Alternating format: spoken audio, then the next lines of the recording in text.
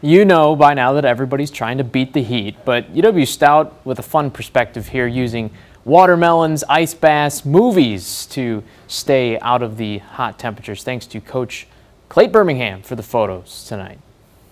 Coach Clayt has a lot of confidence heading into the opener next weekend. The Blue Devils have depth on defense and at key positions on offense, including running back after Chippewa Falls native Matt Pimetlo injured himself early last season, a number of young players stepped up, and they're all back this season. The Blue Devils have their top four rushers back. Stout, not a heavy run team last year, but averaged more than five yards a carry, second best average in the WIAC. Stout feels there's a lot of potential in that backfield. They compete. There's there's a lot of them that are trying to work for that spot and get playing time on the field, and I'm super excited for all of them. I think they all got a chance to go out there, compete and play. But um, yeah, it's really cool to see these guys go out there and work hard every day. And we're getting closer to opening day. Stout opens the season at St. Ambrose on September 2nd.